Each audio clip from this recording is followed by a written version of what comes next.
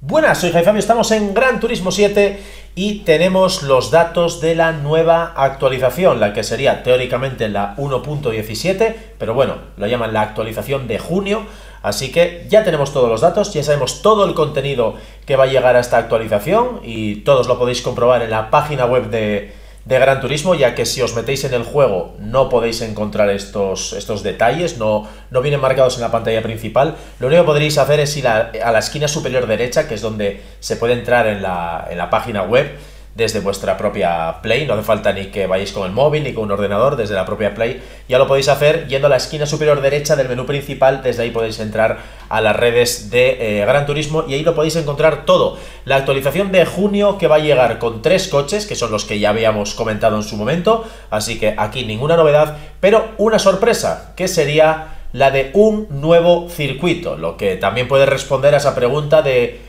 porque había un hueco libre en la ronda de la Nations Cup del 1 de julio. Pues seguramente, seguramente vaya a ser una carrera en el nuevo circuito y no vaya a ser con alguno de los nuevos coches. Extrañaba bastante que se pudiese utilizar ese Suzuki Escudo Pikes Peak en alguna ronda de la Nations Cup, aunque bueno, todo es de esperar.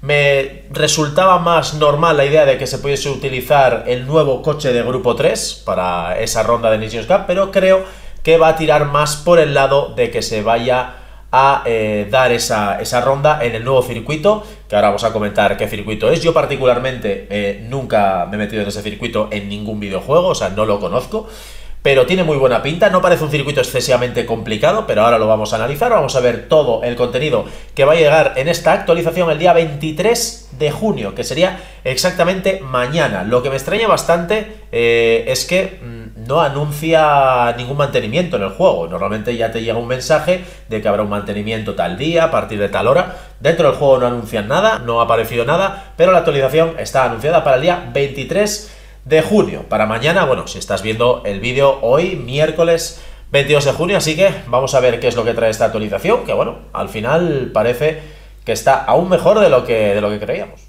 Por aquí tenemos el anuncio de esta actualización, ya digo, esto sería en la página web, presentamos la actualización de junio, no le dan número, imaginemos que sería la 1.17, para Gran Turismo 7 incluye tres coches nuevos y un nuevo circuito que sería el circuito de Watkins Glen, parece un poco trabalenguas, y ahí está el primero de los coches, Ford de 1932, Ford Roadster, que es el modelo que yo decía que no lleva esas aletas, que lleva las ruedas totalmente descubiertas, bueno, Tampoco creo que se le vaya a sacar excesivo partido a este coche, digamos uno de esos coches de relleno. Aquí tenemos Suzuki V6 Escudo Pikes Peak especial de 1998. Este coche que entraba eh, una de sus versiones en Gran Turismo 2 y estuvo hasta Gran Turismo 6. Aquí lo tenemos, muy deseado por muchos de vosotros, eh, por lo que estuve viendo en los comentarios que ya hablábamos de él, del vídeo donde ya hablábamos de él. Y aquí está, Suzuki Visión Gran Turismo de la categoría Grupo 3. Me gustó bastante el VGT normal, así que creo que el Grupo 3 va a estar bastante interesante. Además, bueno, un poquito también el modelo de coche, el tipo de coche, ese, coche con, con, la parte superior totalmente descubierta. Y luego aquí tendríamos donde hablan del nuevo circuito, el circuito Watkins Glen International. Longitud total 5.423 metros, cambio de rasante 41 metros, 11 curvas y una recta más larga de algo más de medio kilómetro.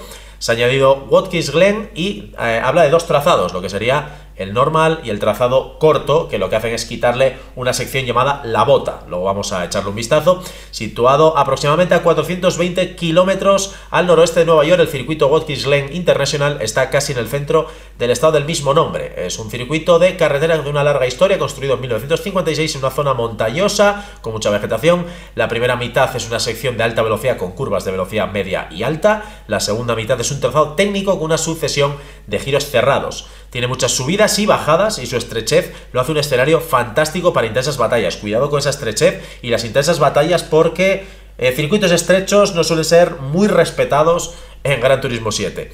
Eh, bueno, pues aquí tenemos un poquito las imágenes de este circuito Watkins Glen, como anuncia una zona de más velocidad, una zona un poquito más técnica, pero por lo que he visto no parece un circuito excesivamente complicado, porque por lo que he estado viendo un poquito en el mapa, que ahora lo vamos a ver, no tiene curvas excesivamente cerradas, parecen curvas todas bastante abiertas, eh, muchas de ellas bastante largas, tiene algún giro en escuadra, pero parece un circuito al que nos vamos a adaptar bastante bien hay que estar atentos a esa experiencia en circuitos que también llegará al juego.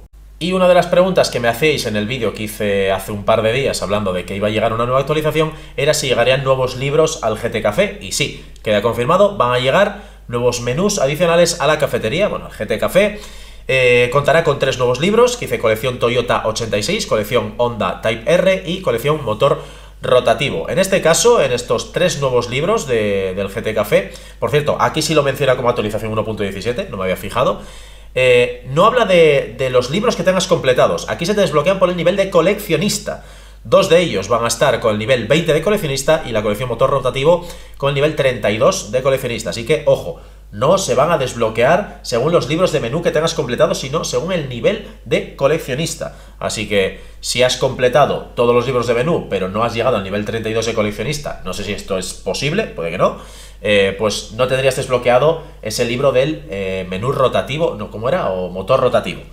Y tendremos también, por supuesto, nuevo contenido en la zona, en el apartado de escapes, eso es que a los que Polyphony le da tantísima importancia, los maravillosos escapes, con una nueva ubicación que será el nuevo circuito Watkins Glen. Y por supuesto, como os he dicho antes, también tendrá su experiencia en circuitos.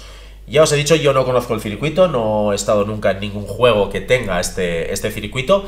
Eh, en GT Sport, por ejemplo, tampoco estuvo, así que por eso es súper bienvenido este, este circuito. No sé si ha estado en la saga Gran Turismo, he estado buscando algo de información, no he encontrado nada. Vosotros me diréis si este circuito ha estado en alguna de las ediciones de Gran Turismo. Ya digo que he buscado información y no me he encontrado nada, sobre todo porque en cuanto buscas Gran Turismo y Watkins Glen ya están hablando de esta actualización y de la llegada de este nuevo circuito.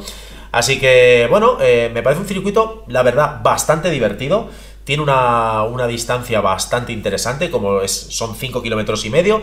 Y aparte de esa sección de, de curvas de alta, media velocidad, con zonas de alta velocidad en general, eh, como decía esa descripción, pues yo por lo que he visto no vale un circuito muy complicado, quitando esas escuadras que tiene, que habrá que ver a qué velocidad se pueden tomar, no son curvas demasiado complicadas, no son curvas excesivamente cerradas y el resto de curvas, quitando esa sección que se ve en la parte inferior derecha eh, de varias curvas cortitas, tampoco parecen curvas demasiado lentas, se ve que son curvas abiertas, curvas largas que se pueden tomar a bastante velocidad, así que tiene pinta de, ser bastante divertido este circuito, nos lo vamos a pasar bastante bien, veremos eso de que es un circuito estrecho, porque ya sabemos cómo se comporta la gente en Gran Turismo 7, no es lo mismo tener este circuito en Gran Turismo que tenerlo en Assetto Corsa o en Air Racing o algo así, donde la gente se va a comportar de otra manera, pero tiene muy buena pinta este circuito y para mí siempre será bienvenida la llegada de un circuito nuevo, sean coches a circuitos, siempre el nuevo contenido es bienvenido, pero yo siempre agradezco muchísimo más la llegada de cualquier circuito. De hecho, en su día incluso agradecí enormemente la llegada de circuitos como Goodwood,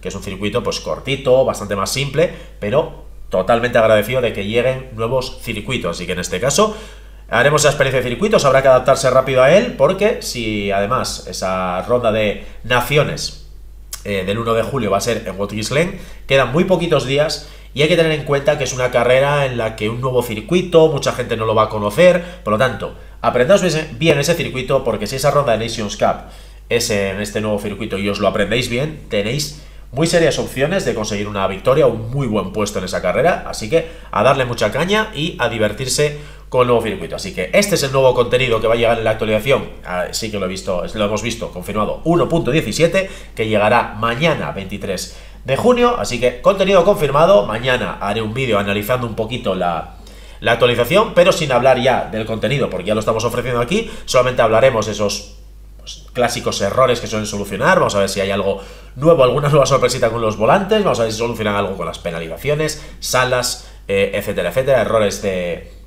en los matchmaking donde está dejando a gente fuera, ya incluso yo lo he sufrido ayer mismo, así que estaremos atentos a todo eso y eh, por supuesto nos compraremos los coches, les haremos un vistazo y veremos el nuevo circuito, así que todo eso será en el vídeo que os traiga mañana al canal hablando de la nueva actualización, pero el contenido ya queda presentado, así que ya me diréis en los comentarios todas esas dudas que os he planteado durante el vídeo, ya me diréis lo que opináis de esta nueva actualización, creo que es una buena actualización, así que nos vemos en el próximo vídeo. Chao.